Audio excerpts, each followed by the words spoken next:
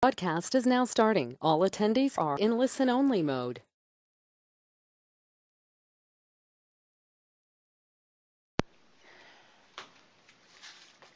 Hello, and welcome to today's webinar, Issues and Trends in EdTech in 2018.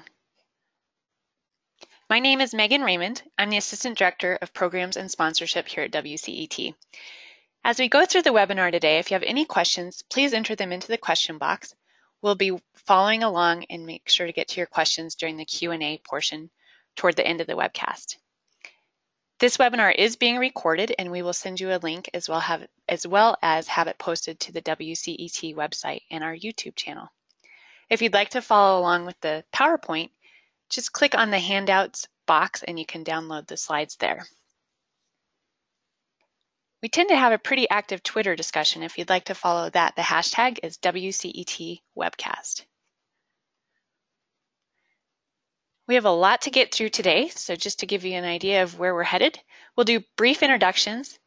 We'll share some reflections on what took place in higher ed, ed tech, and policy in 2017. We'll move on to what some significant innovations or issues will be in 2018, have a moderated panelist discussion, and then we'll get to your ideas and Q&A and conclude. Again, if you have any questions, enter them into the question box and we'll get to those. Today, we have a wonderful moderator, my friend Van Davis. He's the, Associ the Associate Vice President of Higher Education Policy and Research at Blackboard, Inc. Go ahead and take it away, Van. Well, good morning or good afternoon, depending upon where you are. And uh, welcome and thank you for joining us today. Uh, as Megan said, I think we're going to have a very lively conversation. Uh, I'm going to ask each of our speakers to briefly introduce themselves, and then we'll sort of jump into things. Um, Michael, why don't we start with you? Sounds good. Delighted to be with you all today. Um, name is Michael Horn. I'm the uh, Chief Strategy Officer at Entangled uh, uh, Ventures. We're a group that works in a variety of ways with higher ed institutions uh, to help them innovate uh, and help them with strategy and innovation as well out of Entangled Solutions. And I'm also the co-founder and remain a distinguished fellow at the uh, Clayton Christensen Institute for Disruptive Innovation, a nonprofit think tank where we focus on the future of education.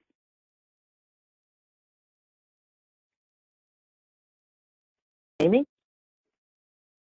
Yeah, hi, good afternoon on my time. Um, my name is Amy Laitinen. I am a swamp person. I live and work in Washington, D.C. Uh, so I work in a think tank called New America, and uh, I focus mostly on issues of quality and transparency in higher education, and my work in particular focuses mostly on federal policy, and I've done a lot of work on how federal policy can seed um, and scale uh, quality innovation um, through its policy. So delighted to be here. Thanks. Hi, I'm Sasha Thackaberry. Right now, I'm the Assistant Vice President for Academic Technology and New Learning Models at Southern New Hampshire University, um, where I really focus on both kind of the ed tech pieces behind um, some of our some of our newer types of learning models. Well, thank y'all. I think we're going to have a really great conversation with these three folks uh, this afternoon. I just want to frame that conversation very quickly, though, with some reflections on what has happened this last year in terms of, of higher education, and particularly in terms of educational technology and policy and quality innovation, as uh, Amy has pointed out. I think it's safe to say that about this time last year, we really didn't know what was going to happen in terms of federal higher education policy. There were a lot of unknowns going into the first year of the Trump administration. Uh, President Trump spoke um, very little about higher education while he was on the campaign trail. And one could argue he still hasn't spoken very much about higher education. Um, we have a uh, Secretary of Education that is largely inexperienced with, with higher education issues. That's quite frankly not all that unusual amongst Secretary of Educations. Um, however, there has been very little, I think, emphasis on higher education in the Department of Ed this last year. uh, where the largest conversations have, even most recently as the other day, have been around school choice on the K 12 level. We did, however, I think, have a surprise, or at least many of us, when we were having a similar webinar this time last year, uh, would consider it a surprise, and that is that at the end of December, we saw two pieces of legislation that could potentially impact higher ed. We saw the passage of a tax bill that could impact all of higher ed, but especially uh, public higher education and community colleges, with the limitation on uh, write offs of the state and local tax. Uh, and then we saw come out of the House Higher Education Committee, chaired by Representative Virginia Foxx, uh, Prosper, which is that uh, committee's version of the reauthorization of the Higher Education Act.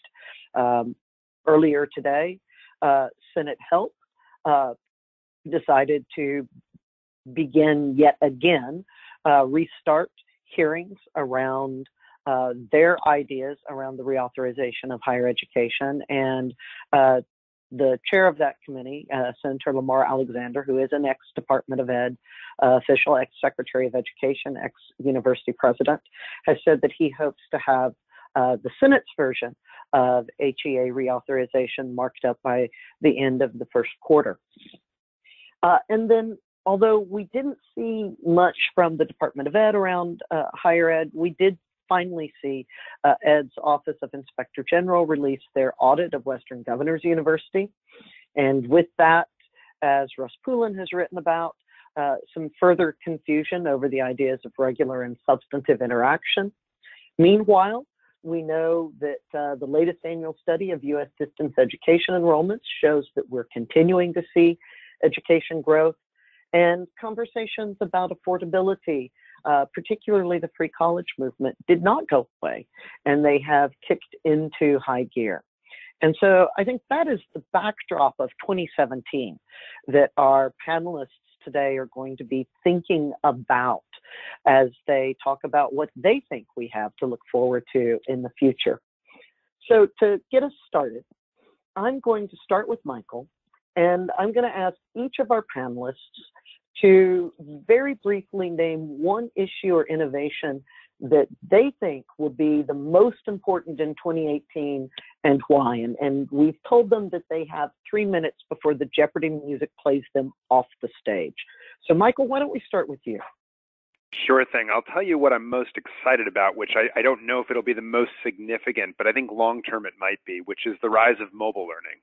Uh, and, and that might not even be in the formal institutions of higher education, but in the uh, post-secondary and adult learning landscapes uh, more broadly, we're, we're starting to see the emergence of new uh, companies and technologies pioneering uh, mobile learning that uh, has very sound instructional design, very active learning, uh, so pedagogically very intelligent and well crafted, and really engaging experiences that are serving adults where they are with bite-sized learning in the ways that they can consume it. And I think it's going to be a game changer uh, as we think about the next wave of disruptive uh, innovation in higher education, uh, both from an affordability perspective, from a learning design perspective, and from an efficacy perspective. And I, I, think it's a pretty exciting trend that is just seeing its birth in the last couple of years with, with the rise of some of these companies and many more on the horizon that I'm starting to see that I'm getting excited about. Okay, great, Michael. Um, Amy, what are you most excited about or think will be the most significant in this coming year? Okay, so uh, so I'm definitely not answering the first part. What am I most excited about? Because I work in federal policy, so I'm not excited about anything right now. Um, but what do I think is the uh, the most um, important issue? And I'm sure we'll we'll end up talking about this in more detail later. But I think we're really going to see at the federal level, and of course I'm going to talk about federal policy because I'm a swamp person.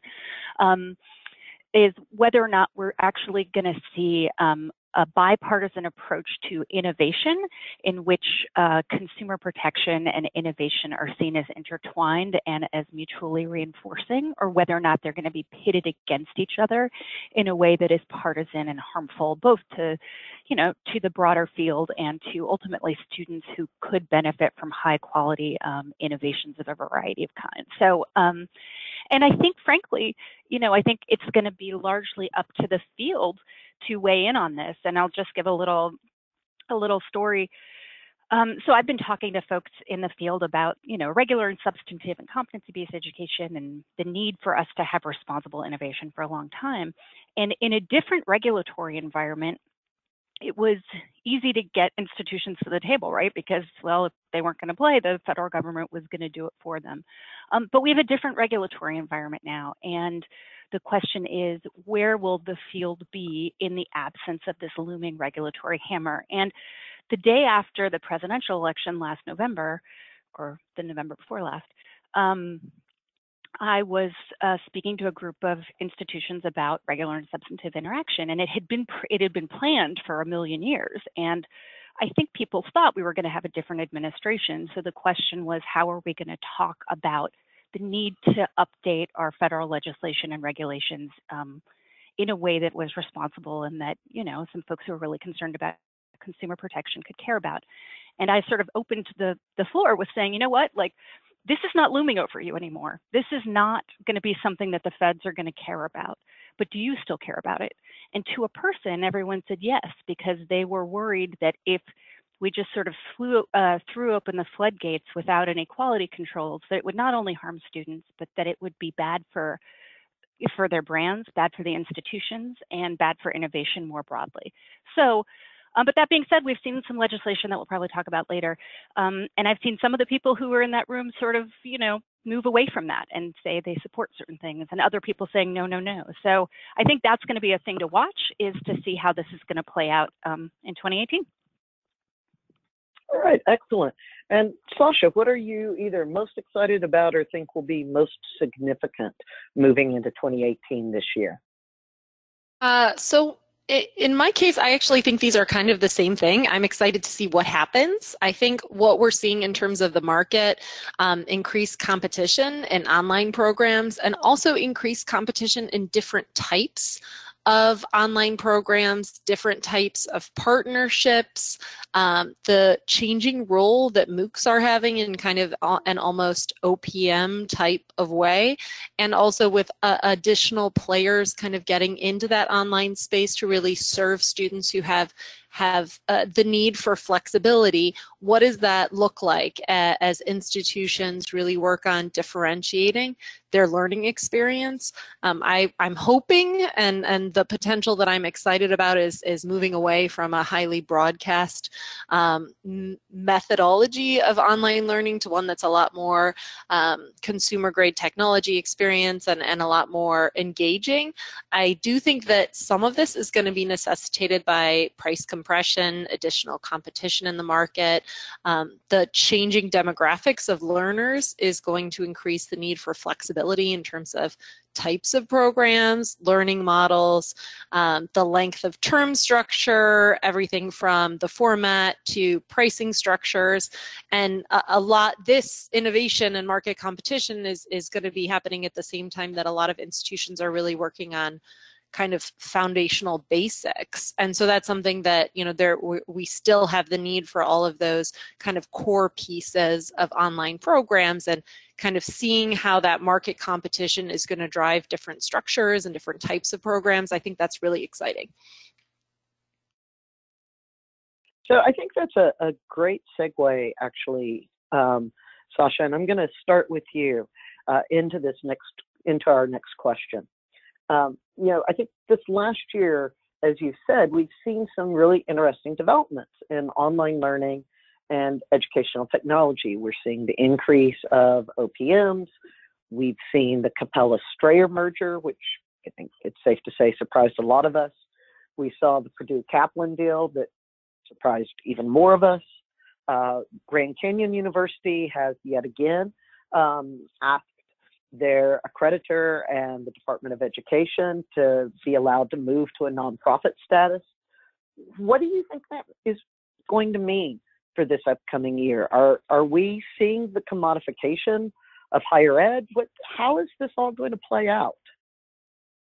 I I think it's a little bit of both. I think we are seeing some of the commodification of it, particularly when it comes to um, uh, particularly when it comes to some of the OPM pieces. I think that can be a little bit challenging. Um, the Grand Canyon University piece of uh, is is is fairly similar to how some of the larger charter schools at the K-12 have have uh, occurred in some markets, which is that a nonprofit kind of halo organization contracts a long-term contract with a for-profit provider, and so it's kind of getting that tax exempt status with an asterisk. So I think that's something to be very very cautious about. Um, but I think for a lot of institutions, it's actually very mission central, focusing on the sustainability um, and driving down the cost of higher education is, is really very critical for lots of institutions. Um, I, and I do think that the increased competition is going to necessitate further partnerships, further mergers, um, and, and in some cases, some creative ways of thinking about how do you spin up new programs or new structures to support those programs. Uh, I, I, think we're probably going to see both a shift towards more OPMs and less OPMs or different types. Um, in some cases, more of a fee for service instead of a, a revenue split. I, I think we're going to see a lot of kind of interesting things. And it, in some extent, I think it will really serve students by providing them with additional options. But I am concerned about the transparency uh, of. Uh, uh, the choices that learners make as they go to either a nonprofit or a state institution that has um, a different type of mission than maybe other types of institutions. However, having said that, there are very good for-profit institutions that care very deeply about their students and have very effective educational models. So I think that's definitely a balance. For-profit isn't, you know, evil and not-for-profit isn't good, but it's really a creative way of making sure that it's student-centric. And I think there's definitely a little bit of a danger in there right now. Michael, I'd love to hear oh, your thoughts sorry. on this, but um, well, go ahead, Amy. Well, I was just going to bolster that a little bit. What Sasha was saying to say that, um, I mean, I, I guess two things. One, um, I think the OPMs and other things sort of show even if enrollment is down, money can be made on things like student support services. And I think uh, you know, there that could go either way, right? I mean, if when they're great, they really work really well. How much of these contracts are focused on outcomes, right? And it, it's really, as Sasha was saying, all about the students. And so I think we we need to be careful. Like again, I think all of these things, you know, all of the sort of wraparounds and all of that can be great, but it ultimately it it depends on you know whether or not there are outcomes that are tied to those. But I would say in terms of the sort of the broader like trend, I don't think these like the acquisitions and the mergers is necessarily like a new trend, but at this scale, it certainly is. And it seems like we're going to see a lot more of these. Um, and particularly, and maybe we'll talk about this later, but um, in you know, there's been some interest, and certainly in the House bill, there was an interest to expand basically fully the um, EQUIP program, which would allow institutions to contract with non institutional providers to provide up to 100% of the education and training. And so we're starting to see these very meta questions about what is higher ed if it's not face to face, if it's not faculty driven, if it's not even institutionally driven or even really that much participated in, who or what is higher education and who or what is an institution? I mean, I think these questions are becoming uh, much more prominent and will be this year. I think that that um, raises some really interesting philosophical conversations that I hope we get to here in a minute.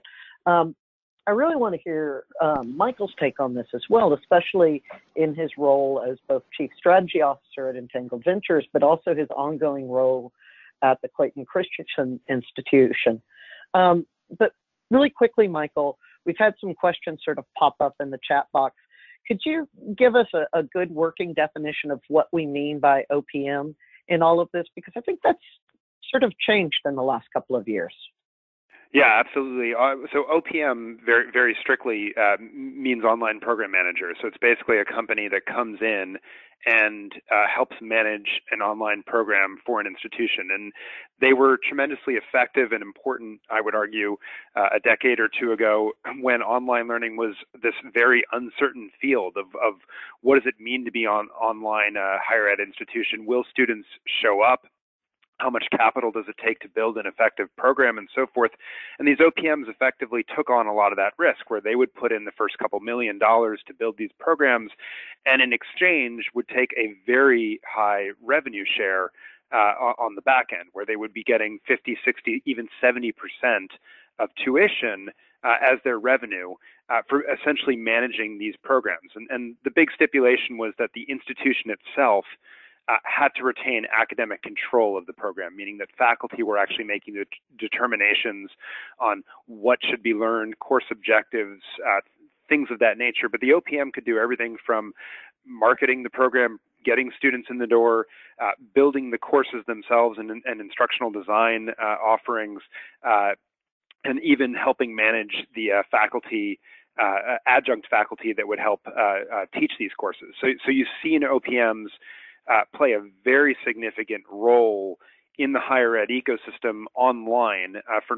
nonprofit and, and, some public universities over the last 10, uh, arguably 20 years. Uh, I think that's about to change in some very key respects, uh, which, which, maybe, Van, I'll, I'll, jump into that, the, the, original part of the question, uh, which Sasha alluded to around the OPMs changing. I, I think we're going to see a pretty big disruption uh, start in that space.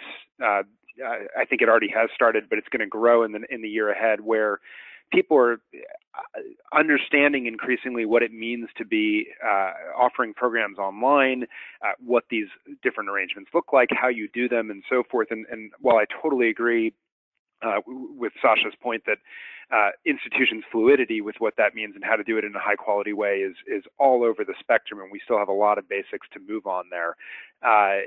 It, it's a much more well understood proposition than it used to be, and market demand for those degrees is much more well understood. And so I think what you're going to see is uh, institutions moving away from paying 60%, 70% of, of tuition to an OPM uh, uh, as, for, for their revenue, which I think increasingly trustees will say, "Holy cow, we're giving away a ton to these uh, to these providers," and you're going to start to see much more low-cost fee-for-service models because.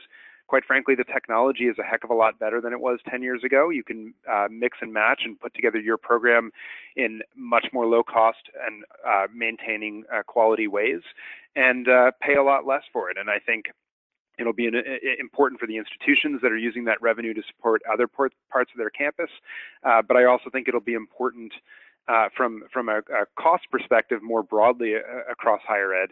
In the vast majority of industries, technology is used in no novel business models to often reduce costs uh, to consumers.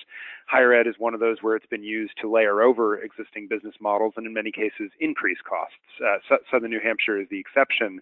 They're not the rule, in other words. And so I think you're going to see increasingly disruptive entrants in the OPM space change that landscape on, on the second point that you had uh, raised earlier, also Van, just on, on the for-profit question and mergers and acquisitions and so forth, uh, my my take on the for-profit question is that the way the the bigger players at least are treating uh, the the current time frame is that there's a window of opportunity for them to do one of two things: either reposition themselves, uh, a la the Capella Strayer merger, uh, to to be able to operate in an environment that I think in you know three years potentially um, will look very different uh, for them uh, than than it does now, where there's less scrutiny uh, on them and, and, a relaxation of, of some of the regulations that had been hitting them so hard. And so they're using it as a window to reposition themselves, or they're using it as a window to get out of the game effectively and, and, and to move into these nonprofit OPM type relationships uh, that, that will look different. And, and I think it, it's going to be interesting to follow what other creative options we see uh, come out of that space in, in, in the next couple of years. Lastly, I think that merger piece, we've written about this at Entangled uh, certainly a fair bit. Uh, I, I, think we're going to see an increasing number of mergers. A lot of colleges are not only asking the question of how do they survive in certain cases, but also asking, are there better ways to serve students in, in more mission-oriented ways? And so I think you're going to see, uh, Amy's right, there's always been mergers and acquisitions in, in the space, but I think it's going to step up significantly. Uh, Paul Freedman and EdSurge today said he thinks it'll double uh, from, from the year before, and I, I think that's a reasonable guess of what we'll see in the year ahead.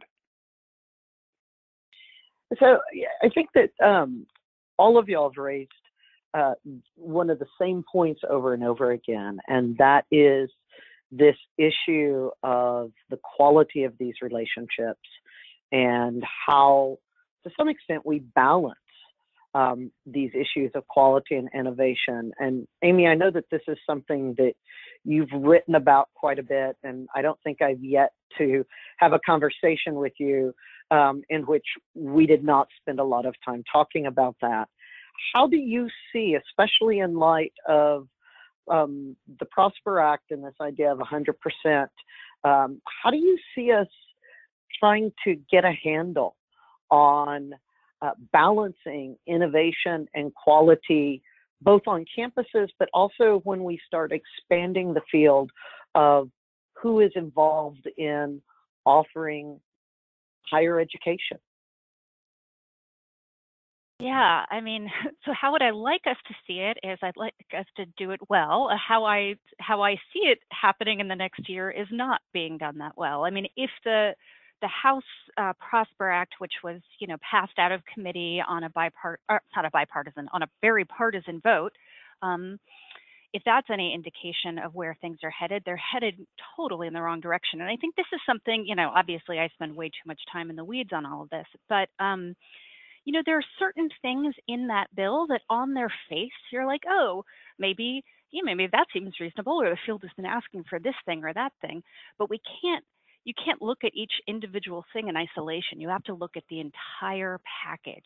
And the entire package of that bill, and we can talk about the Senate in a second, um, is basically just throwing open the doors and not having any quality control. So getting rid of existing regulations, um, making it impossible for the secretary to regulate on many of these things in the future, creating new opportunities for new players to come in, uh, which I would be fine with if there were some quality assurance, but there isn't any. Again, with the equip uh, piece, for example, allowing um, new players to come in, uh, allowing short-term training for Pell, again, which uh, which all speaks to the need and the, the real the real need to better meet the needs of today's students.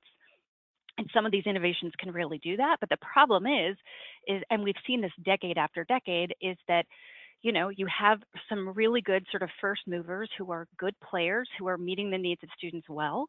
And then you sort of insert, you know, millions at one point and now hundreds of billions of dollars in federal aid um, into the market without any focus on outcomes. And of course, it distorts the market. And of course, people come in and abuse it.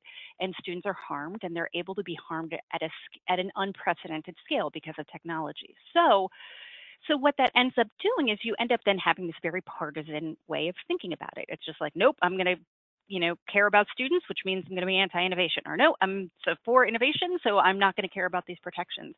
And I don't, I don't, I think the House bill is a really bad start. Um, it's a terrifying start. So I am hoping that the Senate will be uh, more balanced. And so um, so uh, Senator Alexander today talked, you know, he and Patty Murray both talked about wanting to work bipartisanly together. And I think that they are just sort of wired differently as individuals and being in the Senate, they're more inclined to work in a bipartisan way. Uh, that being said, you know, the devil will be in the details. So I think we need to, um, you know, pay attention. There, this is, uh, you know, as you mentioned today, the Senate had a hearing on financial aid um, access and uh, transparency. I'm sure we're going to see something on innovation. Um, because that's something they've talked about before. We might see something on accreditation, might see something about, you know, accountability, maybe safety on campuses, just thinking about the things that Senator Alexander talked about today. Um, but I think, I, I think we can't, we can't rely on the feds to do this in this environment well. I think it really is going to be up to um, the innovators and the institutions, not just to say, hey, we want these waivers and these flexibilities, and this will be good for us. But to say, yes, we want waivers and flexibilities, but we also really want to make sure that we have these protections baked in. So as folks are thinking about, would this piece of legislation be good for me? I think people also have to think, okay, if I were a bad actor, what would I do with that? Um, to, and then share those concerns with policymakers. Sorry, I am on my soapbox. You're right. You can never talk to me without me talking about this stuff. soapbox, getting off now. Um, Thanks. Sa- Sasha, why don't you jump in here? And then I know Michael probably has something to say too. Uh, yeah, one of the things that I, I think is part of the challenge for innovation in higher ed is it seems like the lines um, the guardrails that we have keep shifting and the interpretation of what those guardrails are for innovation keeps shifting. Uh, one example is the oig report. The the entire challenge the field has had with defining regular and substantive interaction and and even within the current boundaries, which which we all sort of collectively agree don't necessarily support the kind of innovation we want to see, you still see folks innovate within those guardrails. And and some part of me uh, really wishes that we could just have the same guardrails or the same interpretation of the same guardrails because higher education institutions um, are are highly innovative. There are lots of, even though, you know, we haven't managed to truly decouple from the Carnegie unit and there's very few direct assessment CBE programs, all of those things are very true.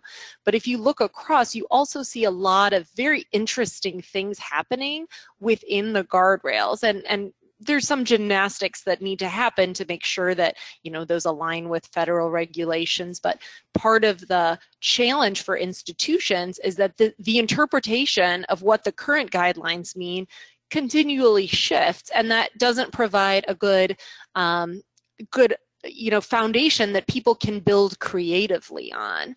Uh, and and to some extent i i'm hopeful that um, with every transition of administration or you know collective thought processes there there comes this accompanying um, transformation of what what hoops institutions have to jump through to justify the innovation that they're already doing or to grow the innovative programs that they already have.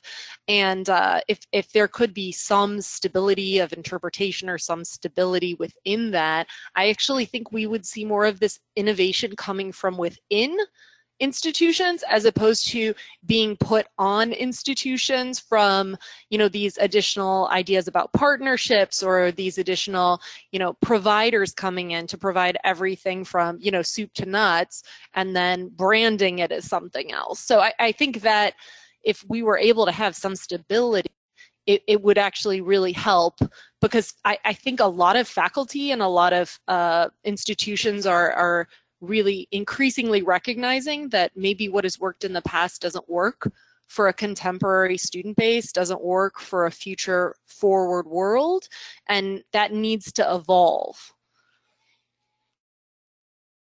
Michael, I, how do you see this um, innovation versus quality assurance playing out, and and and what do you think this means yeah. in terms of as Sasha's pointed out, challenges for institutions with the the guardrails not in place.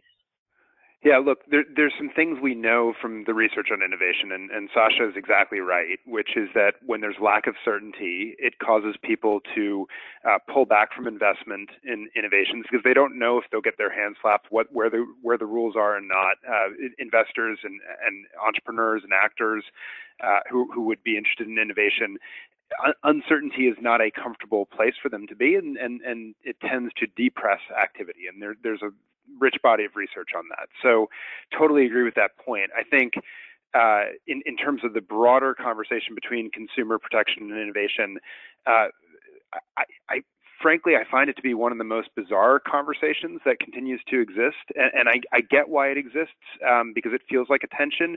Um, but to Amy's point, it's it's it's a polarization once something goes wrong, and we've put in really bad incentives in the beginning. And and from my perspective, when you innovate, you're innovating toward an outcome. No one would ever buy an iPhone uh, if it was a terrible product. And and so in, in essence, you are paying for an outcome.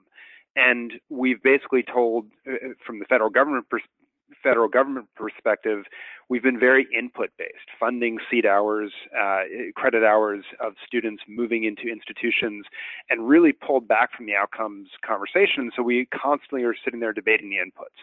What's a competency based program? What's not? What's the right amount of faculty interaction? What's not? And we constantly go back and forth be- between these poles. And, and what I'd much rather see is really a truly a focus on outcomes. Uh, you know, are, are, we getting students to where they want to go, and uh, and and doing so in a way that's responsible for for them and, and for the taxpayer uh, from a fiscal perspective. And so, I, I, think three things occur to me in, in, this conversation. One, I think I think the good news, Amy, I, I'm I'm further removed from this uh, from the swamp world than you are. So so I hope uh, you, will breathe a little bit uh, deeply for, on this one. But you know, the House version uh, of of an HEA reauthorization. I think the good news is it's not going to pass in that form. Uh, I, I, personally am skeptical that anything will pass in 2018, which I don't think is a good thing. But uh, but I, I, think regardless, because of the way the Senate works, uh, we're going to see a very different bill ultimately move forward that'll be more balanced. I think that's good news. Uh, the second thing is, I'd love a reframe on the quality assurance side uh, to one of creditworthiness. I, I think it could get more Republicans uh, interested in this conversation uh, around quality assurance and not just writing a blank check to institutions who can then uh, put in really bad incentives uh, in, or puts in really bad incentives in place for students uh, to think much more about creditworthiness and operating like any other market would. We, we wouldn't just lend to a provider that had bad outcomes and, and, and was unlikely to see a return on the investment. And so I, I think if we could reframe it somehow around that, I, I wonder if we would get more uh, bipartisan buy-in. And, and then the third thing I think is really focusing on outcomes and not stringently defining uh, you know, some of the meta questions Amy was asking, I, I think are, are, are, quite interesting, but I think they're very difficult for federal legislation to, to deal with. And, and so I personally, and I, I, might be in the minority here, but I'd love to see um, uh, programs move much more toward uh, income-based repayment schemes on, on federal financial aid with, with some risk sharing for the institution. So there's a natural built-in uh, guardrail uh, that, is priced uh, appropriately to, to prevent against bad behavior that's strictly focused on outcomes. Are we helping students move to where they are?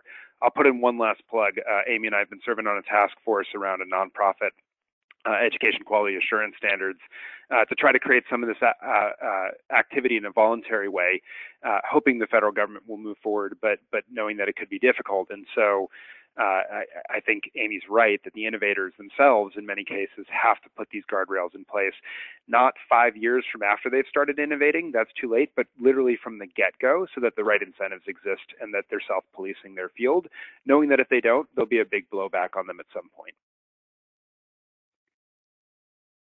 Yeah, uh, this is Amy. I would say uh, so. I have lots of amens and plus ones and yeses to all of that, and had you know, scribbled outcomes, outcomes, outcomes on a post-it as people were talking. So, I mean, I agree with um, with uh, well with both of you that uh, that we need to focus on outcomes. The problem is that has been not just input based, but we've been focused on modalities, and we need to focus on outcomes. But the problem is, is that uh, there's more federal appetite to focus on getting rid of like distinctions between modalities than there is on focusing on outcomes. So it's sort of like, and I'm sorry to use a super partisan example, but I feel like it is, um, it's um, relevant.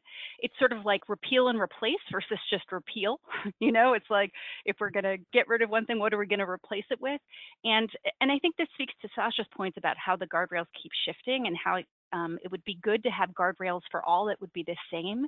And while theoretically I agree with you, and from a policy perspective, I absolutely agree. I mean, I think we should have an outcomes focus. We should have outcomes focus for everyone in higher education.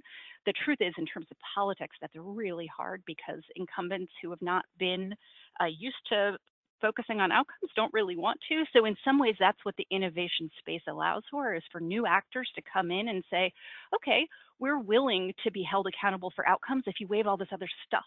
And so um, that we don't need, we don't need this input-based stuff. We don't need this modality stuff, but we will be held accountable for the outcomes. And then that's good for both them and for the students. And then I think actually helps inform a broader conversation within the broader higher education field of, oh, why are we focusing on all, what should we be focusing on? But I think it's a sort of, there's some political sequencing that needs to happen. But ultimately, yeah, we need to be focusing on outcomes. But the problem is, that's not what um, you know Congress really wants to do. And so, while yes, the House bill I hope, and I'm knocking on my fake wood desk as I say this, uh, will not actually be the bill that goes through. Um, it does give us a starting point, but I think the Senate, the Senate will not be as bad. I hope. Um, and uh, but these are all still very important conversations to have. But to the extent that the field can focus and say, not just we want waivers from these archaic regulations and laws, but we want to focus on outcomes. I think that will be helpful and allow us to get past this false dichotomy of innovation and consumer protection.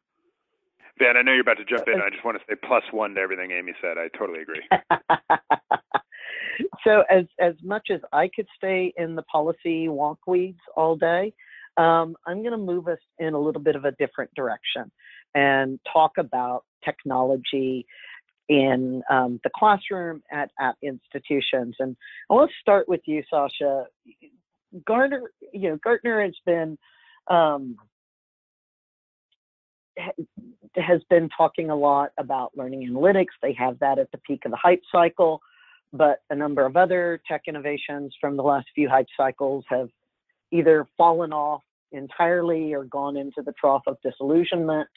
Um, what do you think from where you're sitting over at Southern New Hampshire?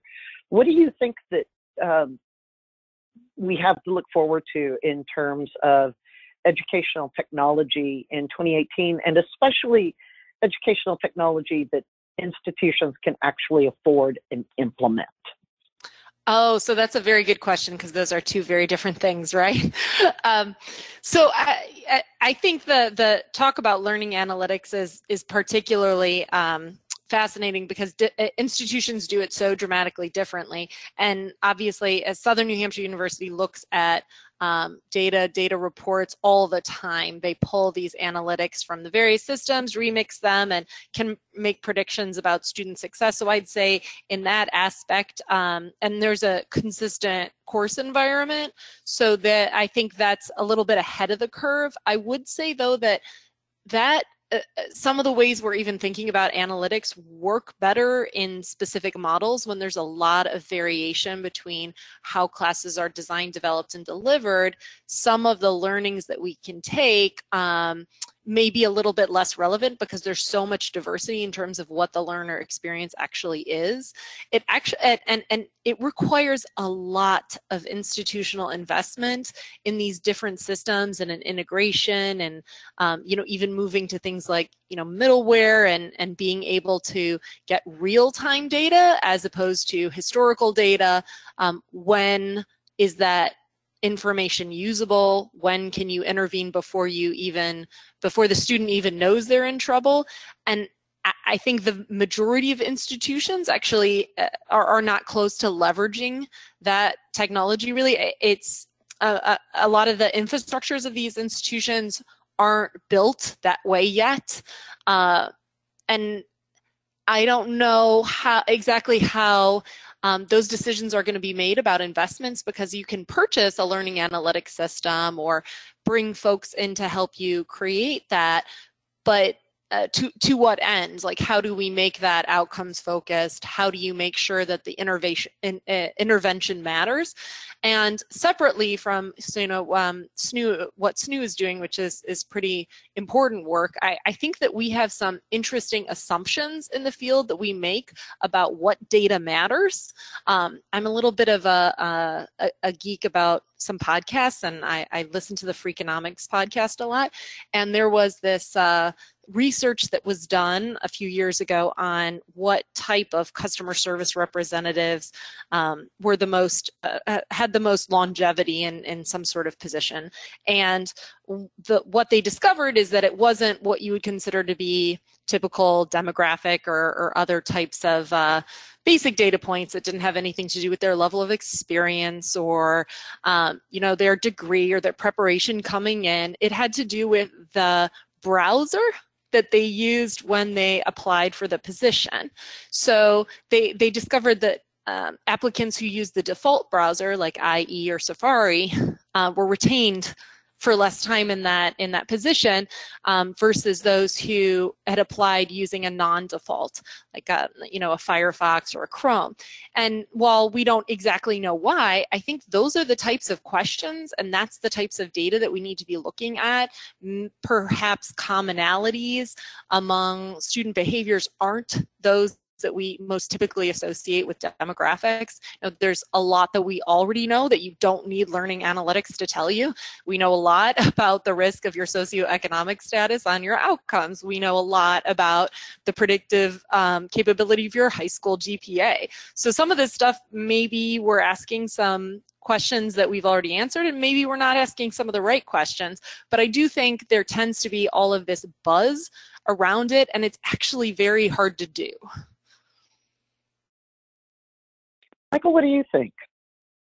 Yeah, so I'm I, looking at this. A, a, couple thoughts occur to me. One, I think it's true uh, that adaptive learning, big data, things like that, got a tremendous amount of hype uh, a few years ago. And what I think we've realized is that uh, is a few things. One, uh, uh, education is an immensely and, and learning, I should say more broadly, is an immensely more complicated thing uh, than recommending uh, your next movie on Netflix uh, or or what you next want to buy on Amazon. And we should also be very clear that Amazon is probably wrong at least 50% of the time on that recommendation for you. And learning is a much more high uh, much more high stakes uh, set of set of decisions. And so the, the challenge with data in general is that by its definition, it's always backward looking. Uh, it can't tell you, there's no data about the future. And, and so what we do is we use data to help us test hypotheses and construct theories that we can use to predict the future. And I, I think a lot of institutions haven't uh, uh, engaged in that as much as they should. And, and part of the challenge has been the modality when they've used online learning uh, of, of, of, of, engaging in this world, when that online learning has been in a broadcast model, which uh, Sasha talked about earlier. So I'm, I'm just taking my lecture and, and, maybe I'm chunking it up in shorter videos, but I'm still just broadcasting out at you without a very active learning pedagogy or lots of interactivity. You're basically cutting off the ability to really use data uh, in, in, in, enormously effective ways that may be counterintuitive in certain cases. Um, and so I guess I'm not all that surprised that a lot of these uh, data-driven uh, applications have, have sort of uh, f- fallen into the trough of, of, of, disillusionment.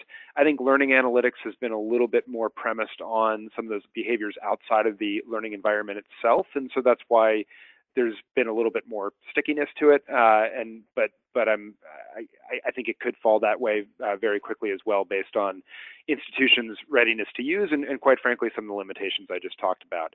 The the other thing that I think is interesting is what we're seeing in the field more generally is that online learners not only continue to enroll close to institution, uh, and there's exceptions like Southern New Hampshire, Arizona State, and so forth, but for the most part, they, they tend to enroll within 100 miles of where they live.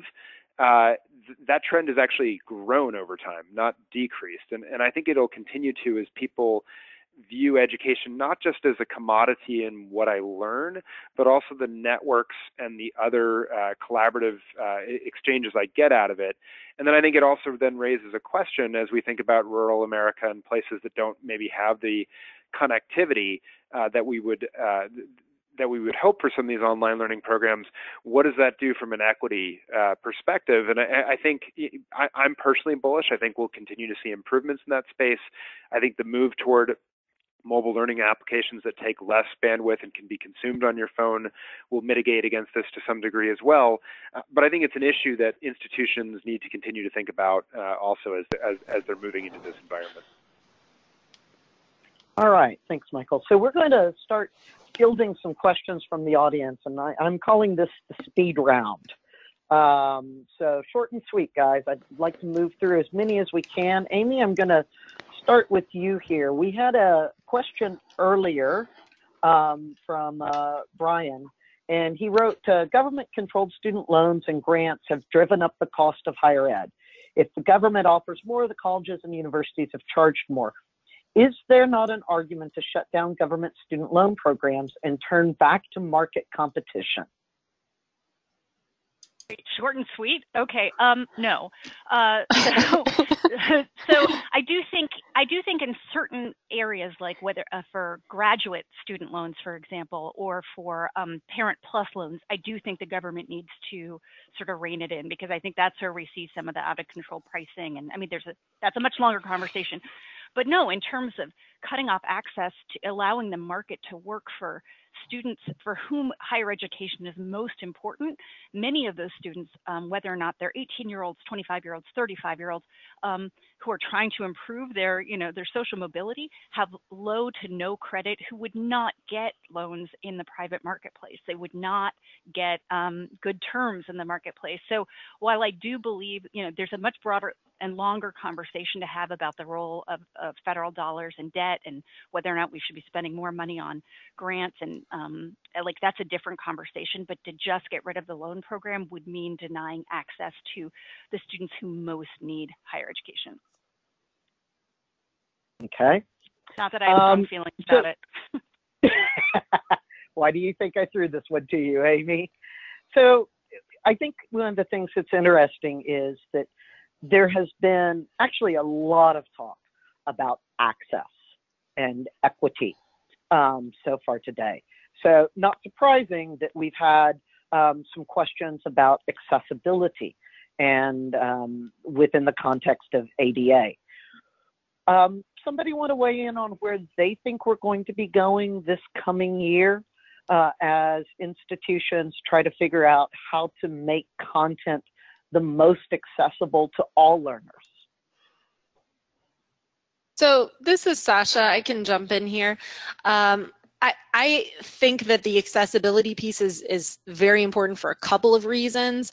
Um, the first is obviously for students who need the video that's closed captioned or they need the alternative description or you know they need to be able to access the publisher resource a different way um, but it's also very important just for quality in general uh, for you know the ability of, of all different students and, and in a lot of ways for our new majority of students you know our our non-traditional students. If someone can you know download an audio file to listen while they're on their way to work that actually does improve access as opposed to having to sit down and and read the article they can listen to it but that actually requires a, a pretty decent investment on the front end because a lot of courses particularly online courses that are legacy courses that are courses that have kind of been copied over year after year those courses uh, become extremely difficult in practice to go back and retrofit for accessibility. So in many of these cases, institutions will probably need to be setting up structures that can support the redesign of those courses and make them accessible on the front end. Um, it's really not something that you cannot do, but it's definitely something that most institutions haven't solved yet. Now, again, the technology has improved so much. So the prices for closed captioning have come down. The prices for development tools, like what what does it cost to actually, um, you know, create multimedia, all of those costs have come down down, which is good, but there's also still a bunch of legacy content out there that's going to need to be grappled with because it's not just for a, a student who has a different need. It's it, it's actually just good pedagogy in general to you know provide multiple ways of showing content, provide multiple ways of engaging with content, and, and even things from Universal Design for Learning, like figuring out um, how to link in the motivation component with it and goal setting. These are all really critical things that are expensive. Excellent. Um, Michael, I think you might be interested in fielding this next one, and I suspect actually that Amy and Sasha are going to want to weigh in on this too. Um, we've got somebody that has um, raised this issue of will one of the trends in, in 2018 be um, a continued sort of move or emphasis on skills versus especially four-year degrees?